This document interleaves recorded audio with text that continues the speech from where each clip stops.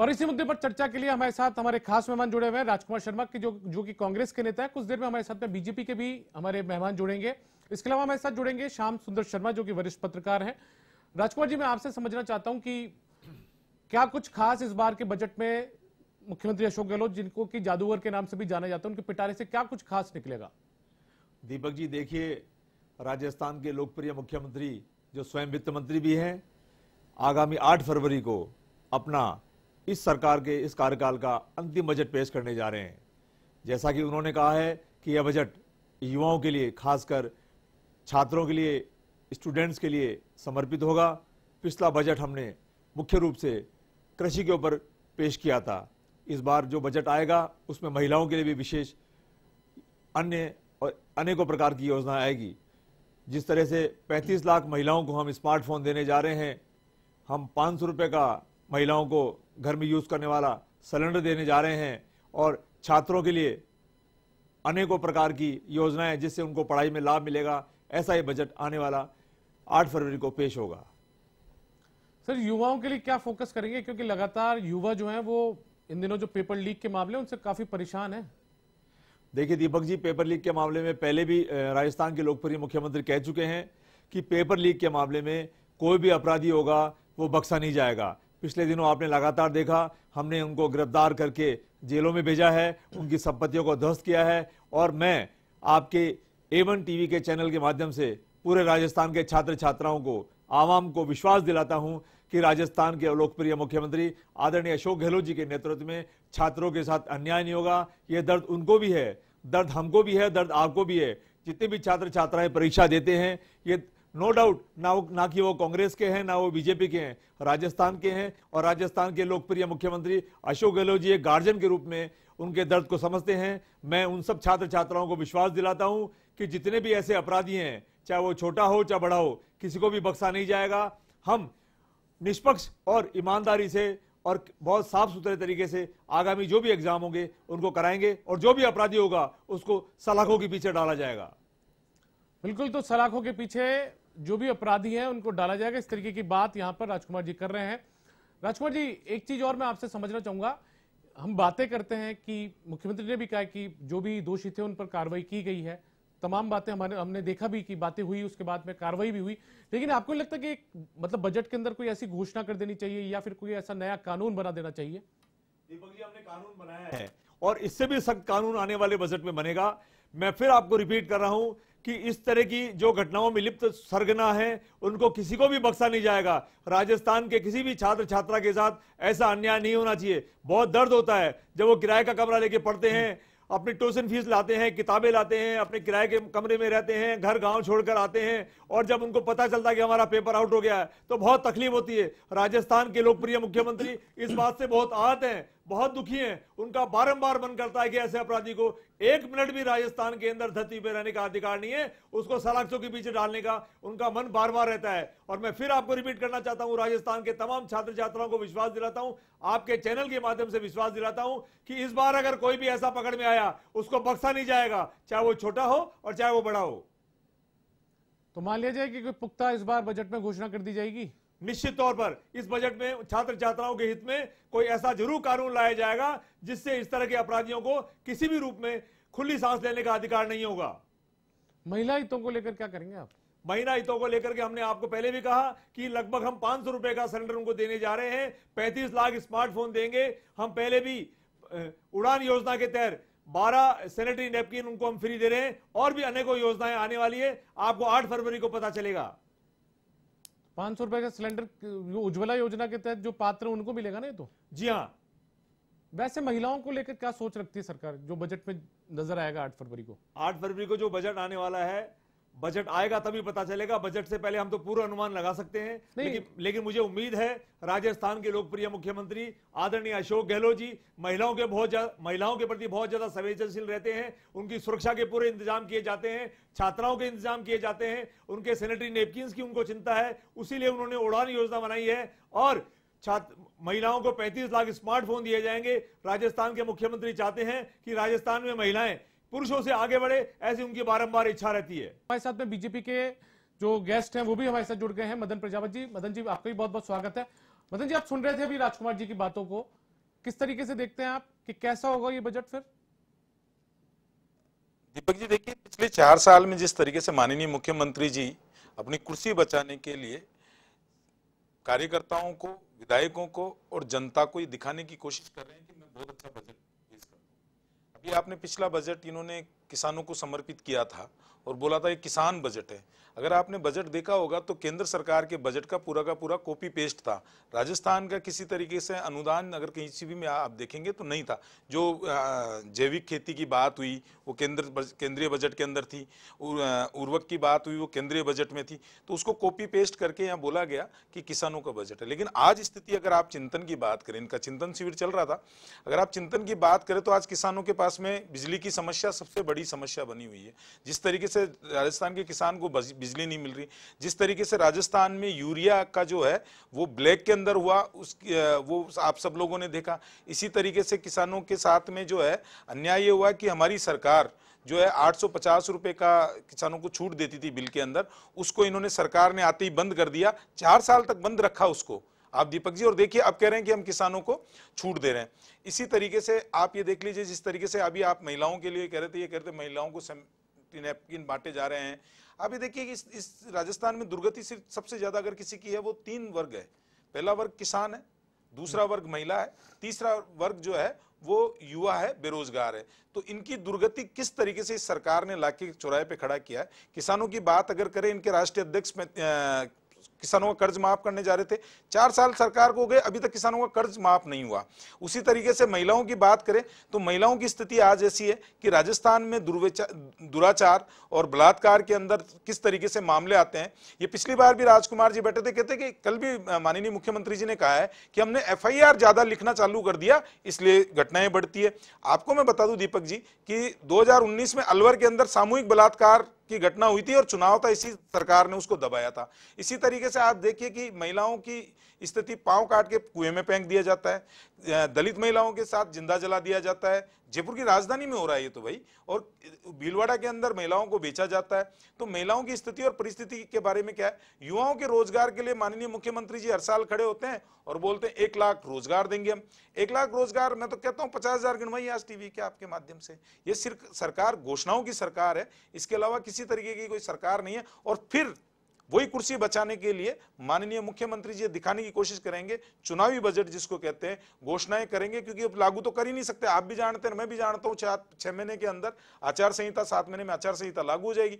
उस स्थिति में क्या बजट पेश करेंगे? सिर्फ़ घोषणाएँ होगी जब समय था सरकार के पास में, जब कुछ कर दिखाना था इस राजस्थान के लिए, उस टाइम ये सरकार नहीं करी। सरकार ने किया क्या? भू माफियाओं को छूट दी। सरकार ने क्या किया? बजरी माफियाओं को छूट दी। सरकार ने क्या किया? जो पेपर लीक के माफिया उनको छूट दी। आप राजकुमार जी कह रहे हैं बड़ी कार्रवाई करिए पेपर लीक के हाँ, बड़ी कार्रवाई की है ना इन्होंने। बड़ी कार्रवाई बिल्कुल राजकुमार जी सही कर रहे हैं मैं तो सहमत हूँ इन्होंने बड़ी कार्रवाई की। इन्होंने बड़ी कार्रवाई ये की कि जालोरी को बेदाग छोड़ दिया। इन्होंने बड़ी कार्रवाई ये की है कि माननीय मुख्यमंत्री जी ने कल सारे अफसरों को क्लीन चिट दे दी कि इसमें कोई अफसर और कोई वो नहीं है। तो ये बड़ी कार्रवाई है ना। जो अपराधी होते हैं, दोषी होते हैं, उनकी बड़ी कार्रवाई ये होती है, दीपक जी, कि उनका आई कार्ड बनता है और राहुल गांधी के साथ में कदमताल करते हैं जो जेल काट के आते हैं। बड़ी कार्रवाई इसको कहते हैं, दीपक जी कि जिनके पुत्रों के नाम इसमें आते हैं जेल काटते हैं उनको बोर्ड में युवा उनको बोर्ड में उपाध्यक्ष बनाया जाता है उनको रिवॉर्ड दिया जाता है। तो बिल्कुल बड़ी कार्रवाई की है इन्होंने। बड़ी कार्रवाई ये की कि राजस्थान से पैसा सरकार ने इन्वॉल्व है और सरकार इन्वॉल्व करके और वहाँ सोनिया गांधी जी को भेज रहे हैं। बड़ी कार्रवाई है कि युवाओं के पेपर नीलाम कर रहे हैं और उससे आने वाली इनकम से राहुल गांधी की पॉलिशिंग और ग्रीसिंग तो... की जा रही है चमकाया जा रहा है और वो पैसा कहाँ से जा रहा है? वो पैसा जा रहा है राजस्थान से। आपको एक चीज़ और बता दूँ मैं दीपक जी। मुख्यमंत्री जी ने जनवरी में आपने सुना होगा कहा कि भ्रष्टाचार को कम नहीं कर सकते हम। भ्रष्टाचार होएगा। जब मुख्यमंत्री जी और आपको अगर जानकार अगर आप आंकड़े निकालेंगे ना तो राजस्थान में जितने भ्रष्टाचार हुए हैं उसमें सबसे ज़्यादा भ्रष्टाचार माननीय मुख्यमंत्री जी के मंत्रालयों में है। सत्तर परसेंट है और उस स्थिति उस स्थिति चर्चा अलग से कर लेंगे दस नहीं वो उसी में ना और सरकार मुख्यमंत्री जी दीपक जी मुख्यमंत्री जी सबको क्लीन चिट दे देते हैं। अभियोजन की सिक्योरिटी नहीं मिलती। इस पे बाद में जिस तरीके से एसओजी ने जिस पे चर्चा बाद में कर लेंगे बजट पे चर्चा कर लेते हैं नहीं इनको ये भी बताइएगा एक, एक सवाल और ले लीजिएगा। ये वो सरकार है जो महिलाओं के नेपकिन की बात कर रहे हैं इनके मंत्री जो है ना विधानसभा में कहते हैं ये मर्दों का प्रदेश है। ऐसी सरकार के मंत्री जो बात कहते हैं बयान बयान आ चुका तो इस पे आप लोगों ने भी नहीं मैं तो इनको इनको आईना दिखा रहा हूँ। बयान आया नहीं है मैं आईना दिखा रहा हूँ आपके पास लगातार जो मदन जी ने भी जो सवाल खड़ा किया बुनियादी सवाल भी की बहुत कम वक्त बचा है क्योंकि आचार संहिता भी लग जाएगी तो ऐसे में उसको अमली जामा कैसे पहना पाएँगे? क्योंकि वक्त बहुत कम होगा आपके पास में घोषणाओं को पूरा करने के लिए। देखिए दीपक जी भारतीय जनता पार्टी में एक ट्रेनिंग दी जाती है कि झूठ को सच और सच को झूठ कैसे बोला जाए? काले को सफ़ेद और सफ़ेद को काला कैसे बोला जाए? कांग्रेस में ट्रेनिंग दी जाती है कि भारतीय जनता पार्टी के- लूट कैसे की जाए? झूठ को सच सच बोलते हैं। जनता को कैसे लूटा जाए? भ्रष्टाचार कैसे किया जाए? जनता को कैसे लूटा जाए? और यहाँ से पैसे तो यहाँ से पैसे चोरी करके और वहाँ पे कैसे भेजा जाए? मदन जी एक बार सुन लीजिए इनको पूरे भारत पूरे भारत में इनको मोदी जी की तरफ़ से अमित शाह जी की तरफ़ से ट्रेनिंग दी जाती है कि झूठ को सच कैसे बोला जाए और इनको प्रभावशाली तरीके से बोलना आता है ज़ोर से बोलना आता है। और ये ज़ोर से बोल करके राजस्थान के आवाम की बात कांग्रेस की आवाज़ को को दबाना चाहते हैं। मैं एक बात ही कहना चाह रहा हूँ कि राजस्थान में अब तक जितने भी बजट आए थे अच्छे बजट आए थे राजस्थान के किसानों से पूछो बेरोजगारों से पूछो छात्रों से पूछो छात्राओं से पूछो विकास समितियों से पूछो सड़कों के बारे में पूछो बिजली के बारे में पूछो पानी के बारे में पूछो। कम समय में पूरा कैसे कर पाएँगे? ये ये सवाल था। बीजेपी ने अभी कटारिया जी ने हमको ये कहा कि आपने इतनी अच्छी अच्छी घोषणाएँ कर दी आप पैसा कहाँ से लाओगे? मैं आपको आपके चैनल के माध्यम से कहना चाहता हूँ कि अब तक जितने भी बजट हमने पेश किए हमने 80 फ़ीसदी घोषणाएँ सारी पूरी कर दी है और जो 20 परसेंट जो घोषणाएँ बची हुई है वो भी हमारी लगातार पूरी हो रही है। और अब जो बजट आप दोनों हमारे साथ बने रहिए। हमारे साथ में श्याम सुंदर शर्मा भी जुड़ेंगे जो कि वरिष्ठ पत्रकार है। हम उनसे भी जानेंगे कि आखिर क्या कुछ इस खास इस बजट में रहने वाला है क्या कुछ उनके नज़रिए से वो देखते हैं कि बजट में क्या कुछ मुख्यमंत्री पेश करेंगे क्योंकि मुख्यमंत्री साफ़ कर चुके हैं कि इस बार का जो बजट होगा वो महिलाओं और युवाओं पर केंद्रित होगा उस पर फोकस रखा जाएगा क्योंकि पिछली बार मुख्यमंत्री ने कहा था कि पिछली बार का बजट जो था वो अ, किसानों को समर्पित था तो ऐसे में हम श्याम जी का रुख करते हैं। श्याम जी आपसे समझना चाहेंगे कि आपको क्या लगता है क्योंकि चुनावी साल है बहुत कम समय बचा करीब दस महीने का समय बचा है चुनावों के अंदर तो ऐसे में ये जो बजट है इसमें क्या कुछ खास रहेगा? देखिए दीपक जी, ये बात सही है कि ये चुनावी बजट है और चुनावी बजट में लोक लुभावनी घोषणाएँ होगी दो नहीं है। युवाओं को जैसे दिखेगा कि कृषि बजट पेश किया था, मुख्यमंत्री जी ने अलग से और 12 मिशन तय किए थे। उसी प्रकार से युवाओं को कुछ मिशन तय किए जाएँगे, जिसमें देखेगा उनको रोज़गार कैसे मिले, किस प्रकार से क्या हो, उसमें कुछ चीज़ें विशेष रूप से सामने आएगी। और वैकेंसी एक लाख, नए पदों को भरने का घोषणा मुख्यमंत्री जी करेंगे बजट में। और आप देखिएगा कि जब अगर बजट आएगा तो आप सामाजिक सुरक्षा, जो कैबिनेट ने अभी प्रस्ताव पारित किया है, उसके तहत कोई ना कोई ऐसी चीज़ आएगी जिससे केंद्र सरकार से कहा जाएगा कि वेंडर्स वगैरह जो है, वो अगर 60 साल का हो जाता है या फिर उसके बेरोजगार हो जाता है तो उसको किस तरह से हम पेंशन दे कि उसके कैसे सहारा बने? एक नई घोषणा होगी, क्योंकि देखिए, ये वोटों की राजनीति का फैसला करते हैं। तो व्यापक पैमाने पर प्रदेश में वेंडर हैं, और वेंडर को कुछ दिए जाने का सरकार कोई ना कोई ऐसा लाएगी, जिससे कि देखिए, उनको भी लाभ ले। पुरानी पेंशन योजना को उन्होंने पहले घोषणा की थी, उसे लागू रखेंगे तो जिस प्रकार से बजट है, बजट ले- लोक, लुभावना होगा, और वो पाँच सौ रुपए का सिलेंडर वाली बात है, वो देंगे। और, भी कुछ चीज़ें जो मध्यम वर्ग और निम्न वर्ग के हैं उनको किस प्रकार से सहयोग किया जाए? और राहुल गांधी जो कह के गए थे कि हमारी सरकार उन लोगों का विशेष ध्यान रखेगी। तो मुख्यमंत्री जी ने कुछ चीज़ें पारित की है और देखिए वो जा रहे मिलने के लिए उन्नीस तारीख को। और राहुल गांधी के दिशा निर्देश में कुछ अगर मिलेगा वहाँ से तो अगर और कांग्रेस अधिवेशन में जो कुछ तय किया वो बजट में लाएँगे। तो ऐसा नहीं है कि, कि अब जो बार बार जो बदन जी को मैं सुन रहा था मदन जी आपकी केंद्र सरकार भी आपकी बजट लाएगी वो चुनावी होगा क्योंकि अगले बार तो वोट ऑफ़ अकाउंट आएगा। तो इसलिए आप कुछ भी लाओगे तो बहुत ठीक होगा। और राजस्थान सरकार अगर बजट में कोई प्रावधान करती है तो आप शंका प्रकट करते हो क्योंकि आप पैसा देना नहीं चाहते राजस्थान सरकार को। और राजस्थान सरकार चाहती है अपने प्रदेश के लोगों को कुछ देना उस पर आपको पता नहीं क्या दिक्कत आती है क्यों दिक्कत आती है। नहीं बिल्कुल श्याम सुंदर जी का जवाब दूँगा मैं। श्याम सुंदर जी हम तो चाहते हैं श्याम सुंदर जी और हम तो शंका भी नहीं कर रहे हैं। लेकिन श्याम सुंदर जी का विश्लेषण मेरे समझ के बाहर है क्योंकि इसलिए बाहर है श्याम सुंदर जी सरकार को कोई पहला बजट बजट पे एक मिनट अरे सुनिए श्याम सुंदर जी अरे सुनिए श्याम सुंदर जी निवेदन है सुनिए आप। पहला बजट नहीं है सरकार का श्याम सुंदर जी।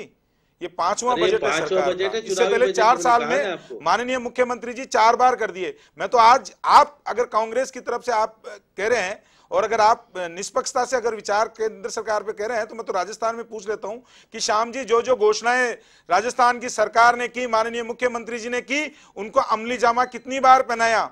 अच्छा बता दीजिए कि आज किसान जो है, वो बिजली के बिल कितनी बार बढ़ाई सरकार तो बढ़ाने वाली नहीं थी, नौ बार बढ़ाए। और बिजली में छूट जो 850 रुपए का अनुदान देती थी, श्याम जी पूछिए, मुख्यमंत्री जी ने क्यों बंद कर दिया? मैं तो कहना ही नहीं चाहता कि किस तरीके से बाजरे की खरीद हरियाणा में तेईस सौ रुपए होती है और राजस्थान में तेरह सौ चौदह सौ रुपए होती है तो मैं तो ये किसानों के बजट की बात कहता हूँ। मैं तो उर्वक की बात कहता हूँ, यूरिया की बात कहता हूँ, किस तरीके से ब्लैक हो रहा था यूरिया और किस तरीके से जमाखोरों का राज चल रहा था यहाँ पे तो वो श्याम जी दिखेगा नहीं। श्याम जी, चार साल में एक लाख रोज़गार मुख्यमंत्री जी कहते थे। चार साल में चार लाख रोज़गार देने वाले थे मुख्यमंत्री जी। आप कांग्रेस के प्रवक्ता तो इस सवाल का जवाब देते नहीं। आप दे दीजिए कि माननीय मुख्यमंत्री जी ने कितनी बार किए। आप इसका भी जवाब दे दीजिए। मैं एक सेकंड दस दस सेकंड। एक बार आपको रोकूँगा क्योंकि मेरे साथ में मेरे वरिष्ठ सहयोगी हैं दिनेश कसाना। वो सचिवालय से जुड़ गए क्योंकि सचिवालय में आज मुख्यमंत्री अशोक गहलोत बजट से पूर्व संवाद कर रहे हैं। दिनेश के पास चलते हैं। दिनेश क्या कुछ तो अभी वहाँ पर स्थिति है? क्या कौन सा वर्ग है जिसके साथ में मुख्यमंत्री आज वहाँ संवाद कर रहे हैं? और क्या कुछ देखने को फ़िलहाल मिल रहा है वहाँ पर?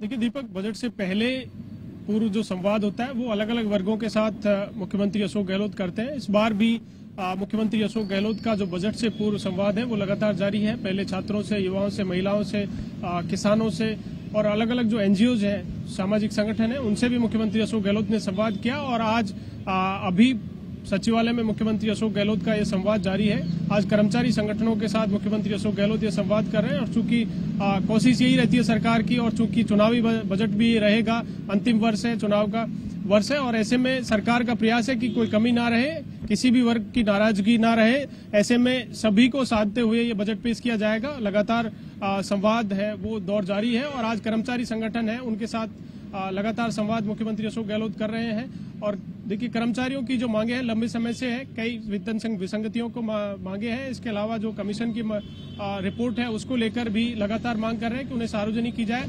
तो इस तरह से आज कर्मचारी लंबे समय से टाइम भी मांग रहे थे और आज मुख्यमंत्री अशोक गहलोत ने तमाम कर्मचारी जो संगठन है, उनके एक एक प्रतिनिधियों को यहाँ पर बुलाया है, उनसे संवाद कर रहे हैं। चूँकि पहला कार्यकाल जब मुख्यमंत्री अशोक गहलोत का था तो वो इस बात के लिए ज़िम्मेदारी मानते हैं कि कर्मचारियों की नाराज़गी उस वक्त रही और इसी के कारण सरकार है दोबारा कांग्रेस पार्टी की नहीं बन सकी कर्मचारियों की नाराज़गी थी तो सर मुख्यमंत्री अशोक गहलोत के प्रयास है कि आ, किसी भी वर्ग की नाराज़गी ना रहे और प्रत्येक वर्ग को इस बजट के ज़रिए साधा जाए सभी की नाराज़गी दूर की जाए।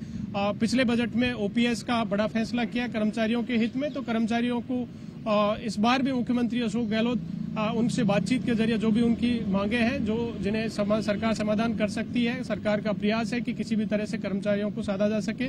आज भी बिजली कर्मचारियों का ओपीएस सहित कई मांगों को लेकर राजधानी जयपुर में बड़ा आंदोलन है। कुछ देर पहले उनकी यहाँ पर सीएस के साथ चर्चा भी हुई लेकिन वो भी मुख्यमंत्री अशोक गहलोत से बातचीत के लिए अड़े हुए हैं।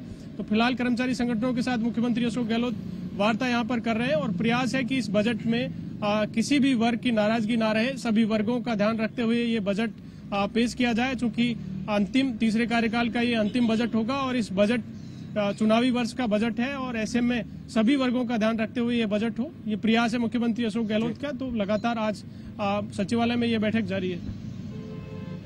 बिल्कुल तो दिनेश इस तमाम जानकारी के लिए बहुत बहुत शुक्रिया आपका। आप हमारे साथ जुड़े और दिनेश जो कसाना है हमारे सहयोगी वो हमें बता रहे थे कि सभी वर्गों का ध्यान रखा जाए, इसकी कोशिश यहाँ पर सरकार कर रही है, क्योंकि इस सरकार का आज इस बार आखिरी बजट है। और हमारे साथ में राजकुमार शर्मा भी जुड़े हुए हैं, कांग्रेस के नेता राजकुमार जी से जानते हैं। राजकुमार जी, क्या देखने को मिलेगा कि चुनावी साल है, इसलिए चुनाव चुनाव से पूर्व की तैयारियों की झलक भी इस बजट में देखने को मिलेगी? देखिए दीपक जी, पहले जो हमने चार बजट तीन बजट पेश किए, चौथा बजट, अभी अंतिम बजट आ रहा है हमारा। मैं आपको निवेदन करना चाहूँगा, हमारा हर बजट हर बजट प्रतिवर्ष शानदार बजट आया है। अब चूँकि ये अंतिम बजट है इस कार्यकाल का, और चुनाव कुछ टाइम बाद, आठ दस महीने बाद आने वाले हैं तो नो डाउट चुनाव आ रहे हैं तो तैयारी उसी तरह से होती है।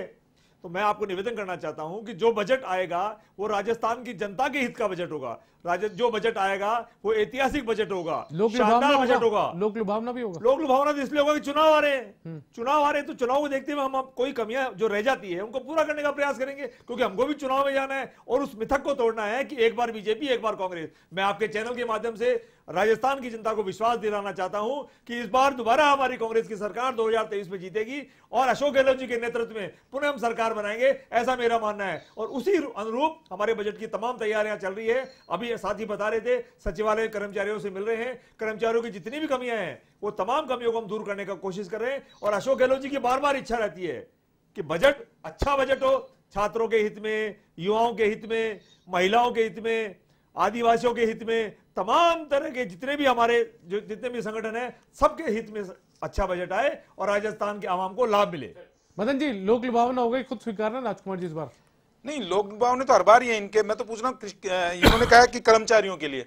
मैं तो कहता हूँ कर्मचारियों के चार साल हो गए सातवें वेतन आयोग की वेतन विसंगतियों के लिए खेमराज कमेटी बनी थी। बता दो कि उजागर कब करेंगे? सातवां वेतन आयोग लागू किया बहुत सारे अरे इन्होंने नहीं किया अरे आपने नहीं किया वसुंधरा जी ने किया। लागू किया। अरे आपने नहीं किया। लागू की अरे ओपीएस जी को तो पूरा देश। मानने जा रहा है। और ओपीएस मॉडल तो पूरे देश में माना जाएगा। अरे सुनिए मैं बताता हूँ ना सातवां वेतन आयोग मुख्यमंत्री जी ने नहीं किया वसुंधरा जी ने किया है 2017 में। और उसी के लिए वेतन विसंगतियों के लिए बना था खेमराज कमेटी का इनको पता नहीं है। तृतीय श्रेणी के अध्यापक जो है वो आस भरी नज़र से चार साल से सरकार को देख रहे हैं।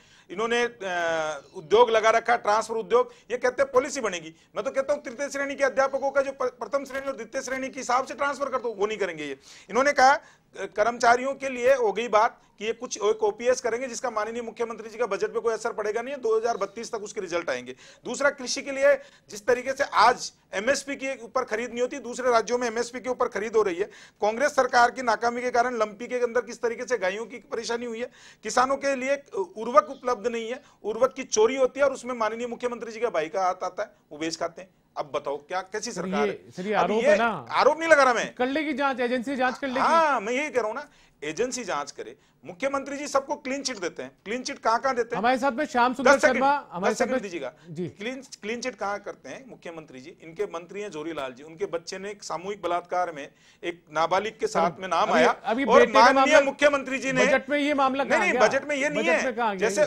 बजट में नहीं है, ये तो क्लीन चिट देते हैं, उसकी भ्रष्टाचार की बात कर रहे हैं ना बजट में। ये कह रहे हैं युवाओं का पेपर चोरी के ऊपर हम कानून बना देंगे।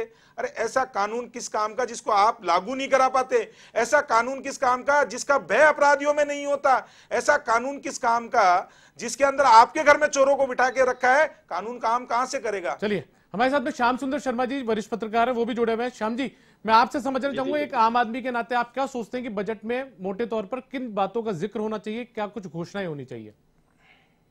देखिए दीपक जी अभी खेमराज कमेटी ने रिपोर्ट मुख्यमंत्री जी को अपनी सिफारिश के साथ सौंप दी है। पहले नहीं आई थी।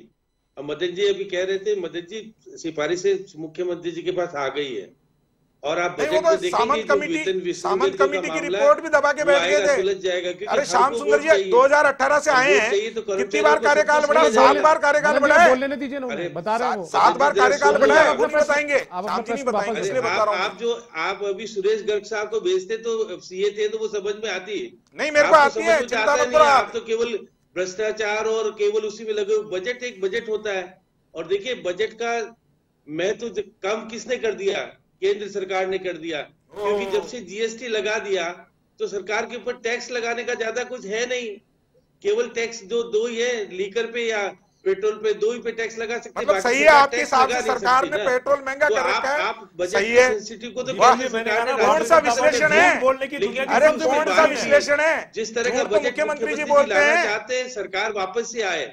वो चाहते हैं कि सर, अभी आप कह रहे हो कितने हो गए? पूरा शांति आप तो गिनवा दो।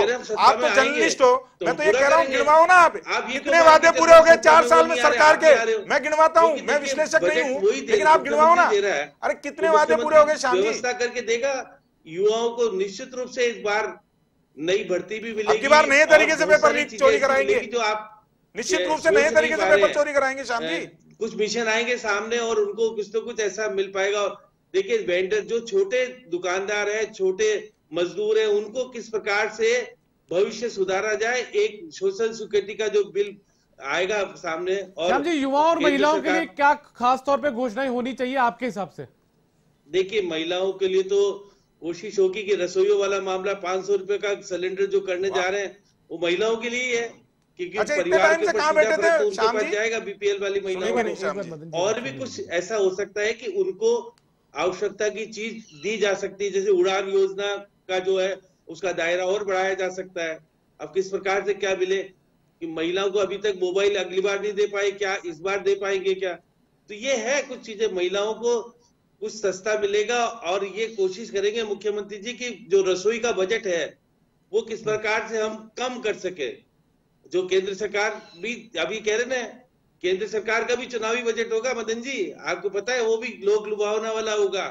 ये मुख्यमंत्री जी नहीं कर रहे क्योंकि आगे वाला था वोट ऑफ़ अकाउंट लाओगे पाँच चलिए मदन मदन जी तो से इस बात का मदन जी से इस बात का जवाब भी ले लेते मदन जी कुछ कह रहे थे आप? देखिए मैं तो ये श्याम सुंदर जी वरिष्ठ पत्रकार हैं। और ये टीवी पे बैठ के केंद्र सरकार और अगर उसमें विश्लेषण करें तो मैं इनसे थोड़ी सी उम्मीद करता हूँ कि ट्रांसपेरेंसी से करें। मैं तो श्याम जी से पूछ रहा हूँ श्याम जी कह रहे हैं ये लाएँगे वो लाएँगे तो तो स्वागत करते हैं। तो हम तो स्वागत करते हैं। लेकिन मैं ये कह रहा हूँ श्याम जी की पिछले चार साल का विश्लेषण भी करिए ना। माननीय मुख्यमंत्री जी ने कहा था तो चार साल कि एक लाख रोज़गार देंगे कितने दिए? अरे सुनिए श्याम जी एक लाख रोज़गार देंगे कितने देंगे? सिलेंडर फ्री इसमें देंगे। चुनावी बजट में ती, तीन, महीने बाद में चार महीने बाद में आचार संहिता लागू हो जाएगी।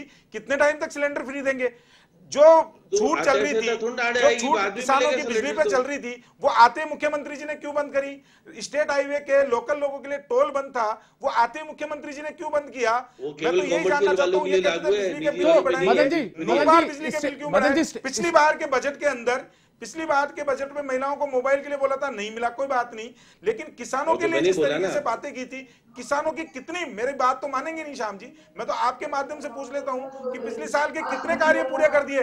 श्याम सुंदर जी आप सरकार के जो है वो बचाने का काम करो कोई बात नहीं वो आपका व्यक्तिगत मामला है लेकिन कम से कम जनता को गुमराह तो मत तो करो बजट कैसे दो हज़ार रूपए अरे सुनिए शांति? प्रतिबद्धता यह होती है कि दो हज़ार रुपए अगर किसान क्रेडिट किसान निधि के दिए जाते हैं ना माननीय मुख्यमंत्री जी के दिए प्रधानमंत्री जी के दिए जाते हैं मुख्यमंत्री जी के जैसे वादे नहीं करते। अगर इस देश के अंदर पहला किसान क्रेडिट कार्ड लेके आए तो भारतीय जनता पार्टी लेके आई। इसमें अगर एमएसपी में जिस तरीके से किसानों की आमदनी डबल करने का काम किया तो भारतीय जनता पार्टी ने किया। इस इस देश के अंदर अगर महिलाओं को दी, तो भारतीय हैं। जनता पार्टी ने दिए और अपने वादों को किस तरीके से पूर्ण किया जाता है भारतीय जनता पार्टी जानती है। मदन जी कह रहे कुछ नहीं किया आप लोगों ने सब कुछ केंद्र सरकार ने किया ये कह रही है और ये कह ये कहते श्याम जी ने पैसे के लिए बोला सत्ताईस हज़ार करोड़ रुपए जल जीवन मिशन के तहत आए हुए खर्च नहीं करते। जी- राजकुमार जी से भी आखिरी कमेंट। योजनाओं को लागू नहीं होने देते।